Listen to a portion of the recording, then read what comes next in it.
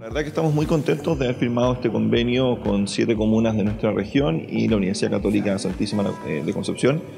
que lo que busca es poder enseñar las ciencias de una manera distinta, es poder capacitar a los profesores de ciencia, 47 docentes de Ñuble, que van a capacitarse no solo en lo teórico, sino que también en lo práctico, buscando mecanismos para enseñar la ciencia de una manera más atractiva y así poder mejorar los conocimientos de esta área de la educación.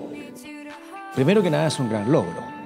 es una iniciativa que emana desde el Ministerio de Educación y que viene a beneficiar a la región de Ñuble,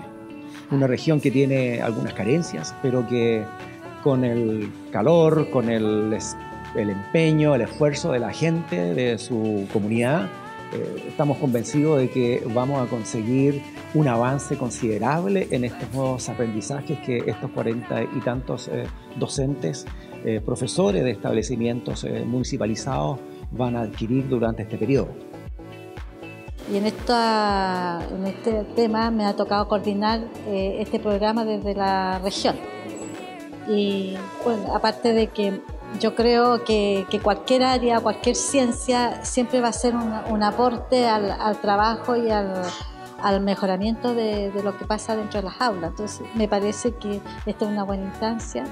eh, hemos partido con, eh, como región eh, en algo casi nuevo para nosotros.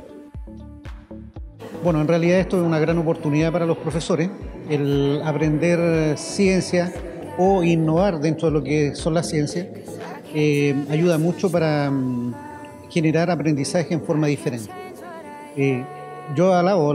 esta iniciativa del Ministerio y también de la universidad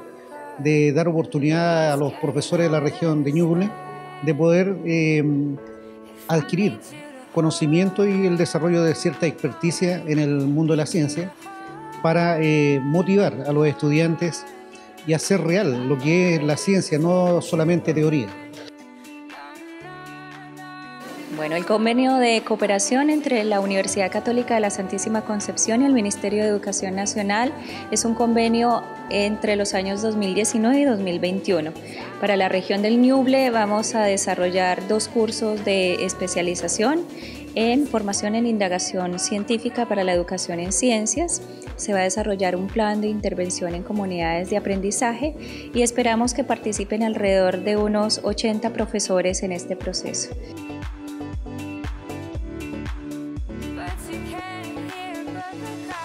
on, on, on.